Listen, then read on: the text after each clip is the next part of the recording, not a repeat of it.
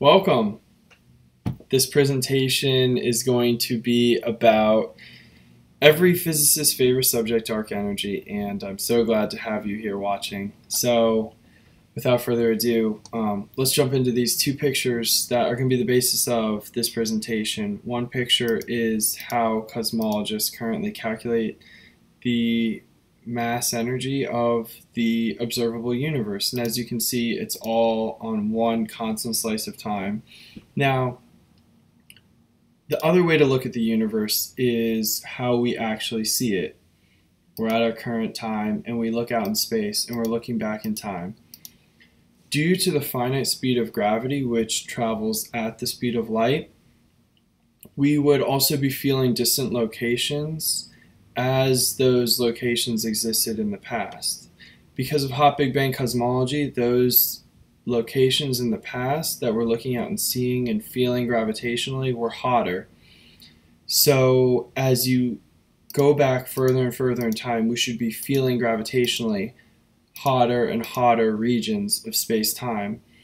And it turns out that all of the heat that we're feeling from the past because of hot Big Bang cosmology almost exactly equals the amount of missing dark energy in the universe.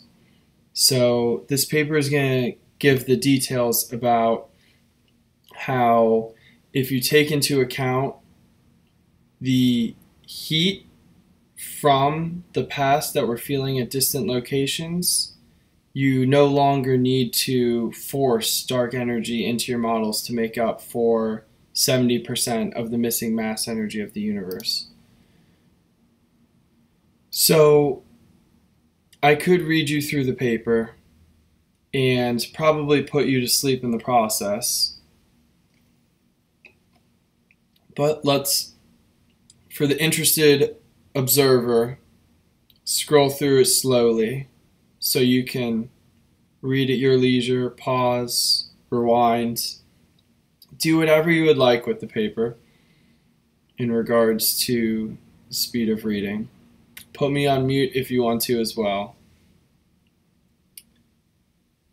The introduction basically gives how cosmologists currently calculate the mass and the energy density in the current universe. The second section is going to review the details and the math, the Friedmann model and the Lemaitre extension. Subsection B is going to dive into some of the hypotheses that we make when we say that a photon that has been redshifted, you need to account for its energy in the past as well at the current time you're observing it because that gravity that it exuded in the past is also just now reaching you today based on that higher energy.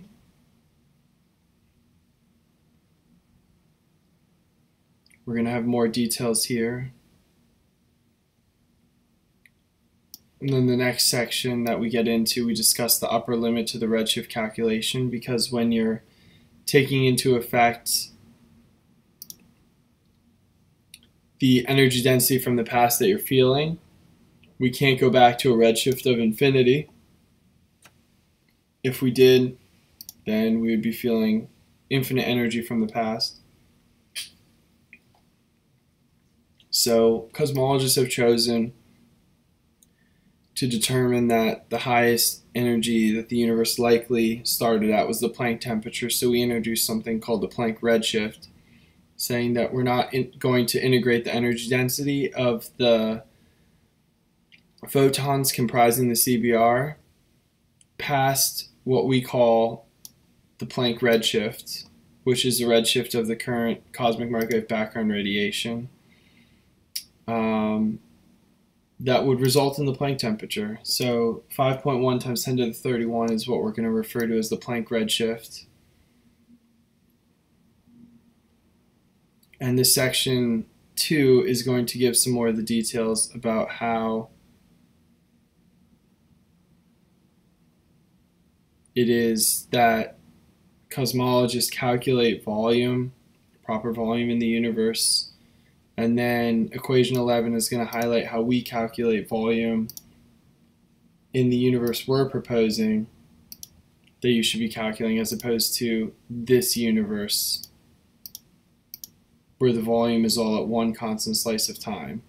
Now the interesting thing about this that's the foundation of the paper is if it was just a matter dominated model this and this would yield the same mass because the volume just scales in the same way that the mass scales, assuming this is a circle, not a square. That the volume would scale in the same way that the mass density, mass energy density for that matter, scales. And so these two masses would be identical. But you have to take into account the fact that there's radiation in our universe, a cosmic background radiation, whose energy depends not just on the volume, but it also depends on the wavelength. And it's going to be that relation that gives us the extra energy from the past that we're just now feeling today from the hot Big Bang. Really, from regions just further out in space that at earlier times were hotter than they are today. So the paper starts off with a radiation dominated model just to simplify things, assuming no mass, no matter. And we get a nice equation 20 natural log term that dominates the past energy states of all the photons past our current time period. These these energy states right here depend today on a natural log term of 1 plus z. And it gets a little bit complicated because in general relativity, of course, distances depend on the energy content, not just the energy, and that energy content is reflected in R and dr. We've chosen to do this paper calculating in regards to the dz element rather than the dr element, so you need to convert those.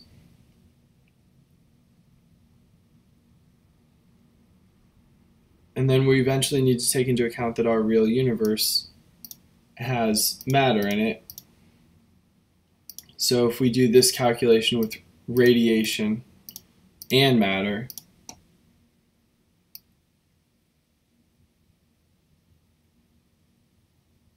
we can determine what the mass of this universe should be as opposed to the mass of this universe that cosmologists currently calculate. And so it just so happens that the mass of the past energy states of the cosmic microwave background radiation, i.e., the heat from the past because of the hot Big Bang cosmology that we know exists, the heat from the past in a model dominated by matter, but with this small radiation component in it that the small radiation component is today, adds up and adds up and adds up and adds up and adds up, and it depends essentially on a natural log term earlier in the paper and it turns out to be 5.194 times 10 to the 53 kilograms. Now, this component that is the heat from the past in this model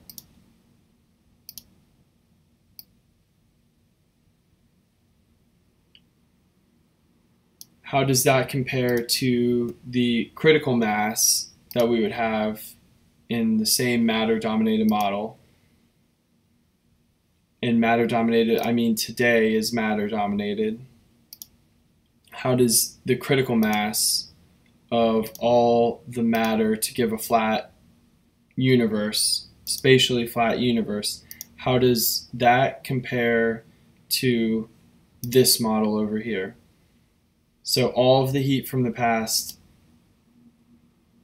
ends up accounting for 70.86% of the critical mass that according to the Friedmann equation will give us a fl- spatially flat universe.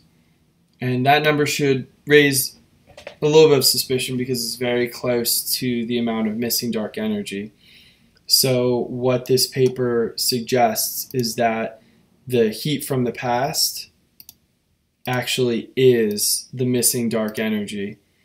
And you can derive an equation for distances because the distances are going to be slightly different for this model. And you can use equation 32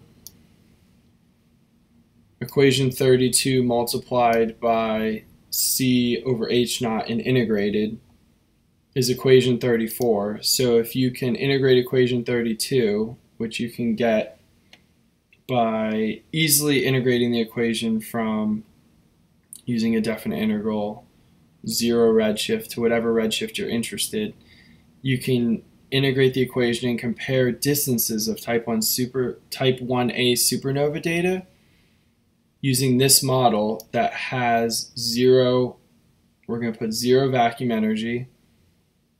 Our omega z component we found out to be about 70%. Our omega r component, which is the radiation component today, was very, very small, far less than 1%. Um, you can plug that in. And our omega matter term is going to be dark matter plus ordinary matter. Found that to be about 30% you can plug that in and calculate distances. And you can compare that with the current cosmological model that has dark energy equaling about 70%. And you can get a distance calculation. And you can see that our model actually agrees very well up until about redshift of 1.4 1.5 it starts to deviate and certainly around 2 it starts to trail off. And then as you can see we really start to converge towards the matter dominated model at higher and higher redshift and this curve comes down and does get closer and closer to the matter dominated model when you do the definite integral of equation 32. So if cosmologists could look out and determine distances for z equals point, z equals 2, z equals 2.5, z equals 3, and if they do indeed see that there is no longer a need for an accelerated universe, i.e., that supernova aren't as dim as we thought they would be, based on a dark energy model, if the if the model starts to converge towards back towards a matter dominated model at higher redshift, then that would be a strong indication that we don't need dark energy and that the heat from the past of the hot Big Bang cosmology would account for not only the missing 70% mass energy in our universe, it would also account for the supernova redshift data and the distance and luminosity matching up more closely to a matter dominated model at higher redshifts, redshifts greater than 2 or 3, for example.